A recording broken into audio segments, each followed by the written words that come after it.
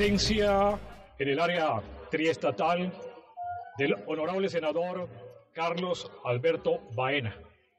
Bienvenido a los micrófonos de Emisión Locuaz, doctor Baena. Gusto saludarlos a todos, eh, muy complacido de estar en compañía de todos ustedes. Estamos realmente en una gala, es la gala que hace referencia exactamente a la actividad de reconocer la hormiga de oro a esos hombres y mujeres de mira que hacen un trabajo proactivo y anticipatorio y que incrementan realmente esa visión de mira en el mundo. Qué gran momento para hacer este reconocimiento y cómo se vincula realmente el movimiento Mira acá en el área estatal con este tipo de premios. Sí, lo, que pasa es que en Colombia hay un movimiento político que se llama Movimiento Mira y eh, su filosofía política es el miraísmo. Esa filosofía política fue eh, patentada como ideología en eh, Naciones Unidas en Ginebra. Y hay muchas organizaciones que apoyan esa ideología o esa filosofía política y esa sociopolítica, que es trabajo social y a la vez político. Entonces aquí en Estados Unidos hay una organización cívica que se llama Mira Estados Unidos y esta organización está entregando hoy eh, los premios Hormiga de Oro. Eh, ¿Por qué estoy aquí? Porque estoy apoyando, estoy respaldando y estoy diciendo, bueno, eh, nos, identificamos con un propósito de lo que es la renovación absoluta en la política, la honestidad en la política, pero eso tiene un fundamento en el trabajo social. El trabajo social son acciones solidarias y lealtad social con el pueblo. Y quienes se van a ganar hoy por méritos esos premios, pues merecen un reconocimiento público. Honorable senador, es evidente la actividad de su movimiento, pero así como es validable la gestión dentro del país, hay que comprender qué está pasando ahora con la razón de ser de este gran movimiento. Se viene ahora la condición de verificar qué pasa con ese gran umbral. Infortunadamente, esa aparentemente es una barrera para el movimiento, pero igual es la forma como ustedes pueden vulnerar los sistemas que en un momento determinado hacen parte del clientelismo en Colombia. ¿Qué se espera o qué espera hacer Mira para controvertir esa decisión que de manera paulatina han ido incrementando ese umbral, pero que ustedes han podido logrado, lograrlo y realmente han vencido ese tipo de estratagemas que se han mantenido dentro de lo que es la condición del Congreso colombiano. Sí, es un gran reto eh, que nos han venido colocando. Primero fue el 2%, el umbral, un límite de votos mínimo para conservar la personería jurídica y tener curules en el Congreso.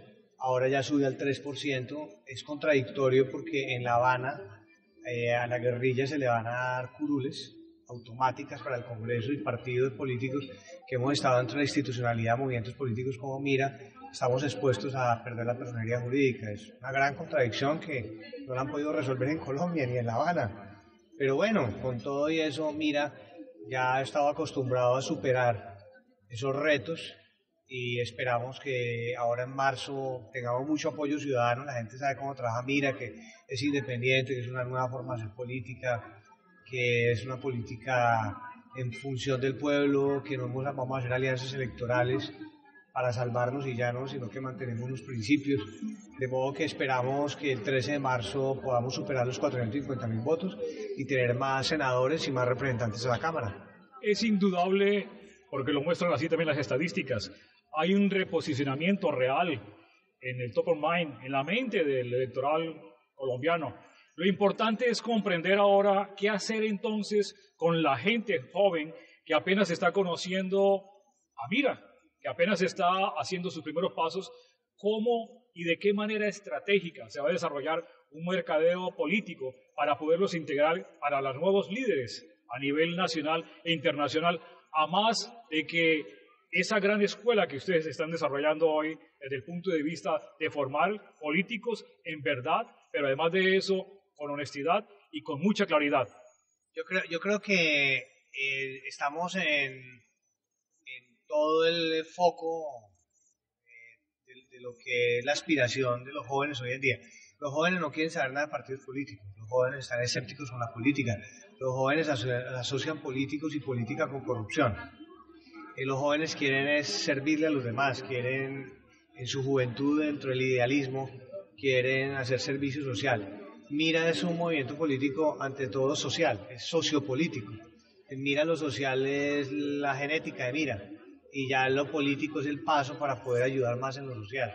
Entonces Mira yo creo que está dentro de lo que hoy en día son los ideales y los objetivos que la juventud está buscando. ¿Cómo vamos a proponer, cómo le vamos a entregar a esta nueva juventud que trabaja con criterios de servicio, que tienen criterios válidos de inclusión en la nueva sociedad, que prosperan dentro de una visión de tejido social, cómo los vamos a motivar, cómo los vamos a acercar a mira, cómo se va a realizar ese trabajo, de qué manera y cómo va a ser la perspectiva a futuro para que en las nuevas filas del miraísmo haya gente más joven, más dinámica y más capaz. Sí, ya, ya se está realizando. En Colombia hay muchos jóvenes, son más de 20.000 jóvenes que, militan en el movimiento político Mira Colombia. Eh, ya tienen curules, son ediles, concejales y también eh, ahí sobresale pues, la participación de las mujeres.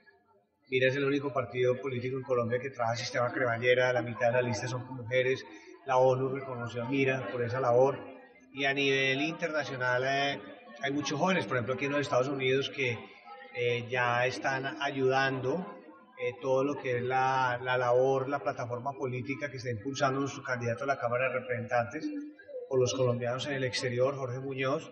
Lo mismo están dando soporte intelectual al trabajo que hacen los congresistas de Mira en Colombia y, y el gobernador y el alcalde y de Mira en Colombia y también eh, están proyectándose para empezar a abrir espacios aquí en la política de los Estados Unidos de manera independiente. Doctor eh, Carlos Alberto Baena, hay una pregunta que definitivamente como tema importante para el país no puede quedar por fuera. Es el tema de la paz. ¿Cómo apoya Mira la paz y cómo ve la forma de negociación, la forma de acuerdo que hoy se realiza exactamente en La Habana?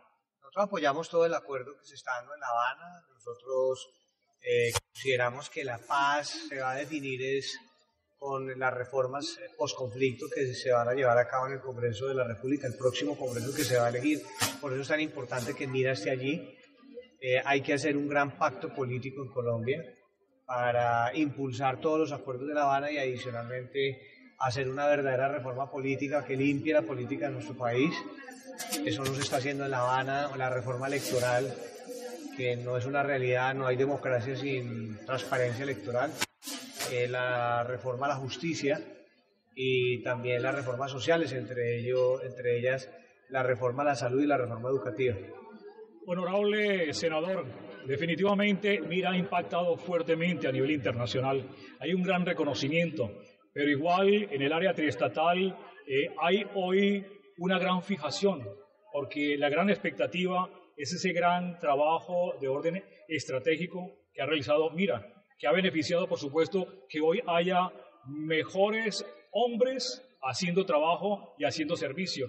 ¿Por qué no, para despedir esta nota, nos da regala a usted una, un saludo de fin de año para estar toda esa, gente colombiana y latinos acá en el área estatal que han estado con nosotros hoy en este gran evento, en esta gran gala, que tiene que ver básicamente con el reconocimiento a quienes trabajan muy bien y porque se pueden emular y porque pueden ser paradigmas a futuro en este gran movimiento Mira. Creo que es una forma también de llegarles y decirles que en el fin de año Mira está presente con los colombianos en el extranjero. Sí, así es. Eh, desearles lo mejor para el próximo año.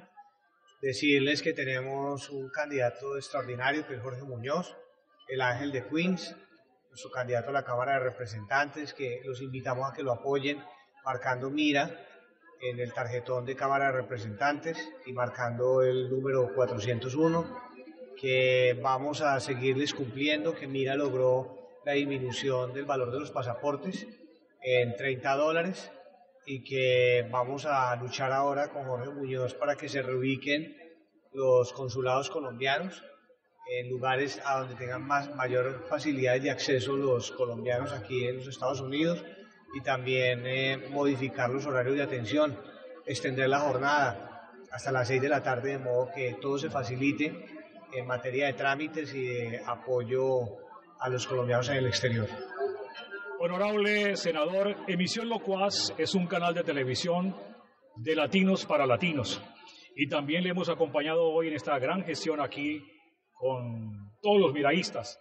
Esperamos entonces desearle siempre los mejores éxitos políticos y también que usted pueda manifestarle en ese gran saludo de fin de año a toda nuestra gente, la audiencia de Misión Locuaz, el compromiso de los miraístas para el mundo y para Estados Unidos. Sí, eh, Mira tiene presencia en cerca de 30 países como miraísmo, no como movimiento político Mira Colombia, no, sino como miraísmo, como filosofía política, como ideología reconocida en Ginebra en la ONU y hay muchos latinos, muchos hispanos que comparten los ideales del miraísmo. Entonces, bienvenidos todos, bienvenidos a esta causa que es común, bienvenidos a esta búsqueda de una filosofía política fundamentada en principios, en la honestidad, en la integridad, en la probidad, en la transparencia y en la lealtad social y también en la sociopolítica, que es la labor social por delante para fundamentar acciones políticas en las naciones.